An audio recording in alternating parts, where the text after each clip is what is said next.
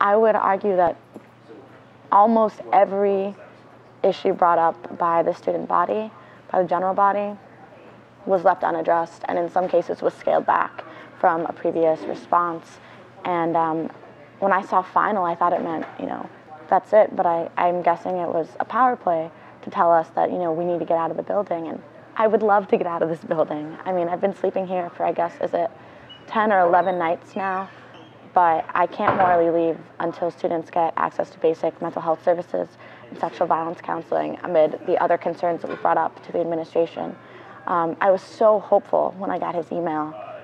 And I feel so hurt that it was a PR move just to tell us, well, we did whatever we wanted to, now get out.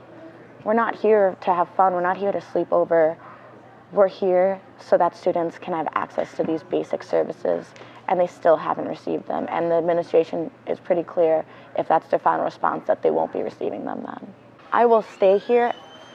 They can drag me out. They can drag me out, they can arrest me, because I know what I'm doing is right, and I know that I will be here every single every single day. I will sleep here every single night.